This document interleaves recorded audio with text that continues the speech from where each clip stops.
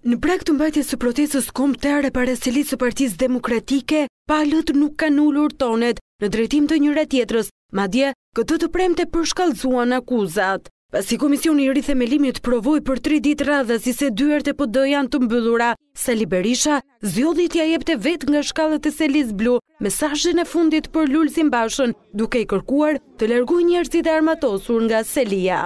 Mercenarët që rëndojnë mbi shpatullat e tyre vrasje njerëzish, është mirë të dalin nga ndërtesa.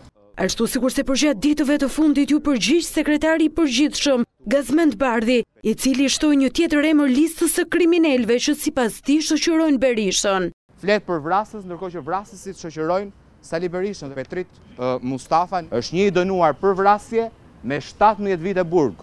Teksa Berisha deklaroi se kreu i PD dhe mbështetësit e tij do të nxirren paqësisht nga godina, Bardhi pretendon se skenari i protestës së nesërme parashikon dhunë.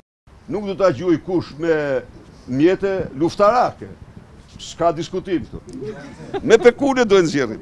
Njerëzit e tij kanë folur për gjakderdhje. Përplasje në distancë patën edhe për blindimin e selisë blu. Çdo blind që është vendosur në këtë ndërtesë do të ngarkohet në një kamion Dhe do t'i dërgohet diku afër shtëpisë së tij. Lulzim Bravës t'i përdorë ç'të dojë. Aty blinde nuk mund të ketë. Janë duke u bërë punime nga më të ndryshmet.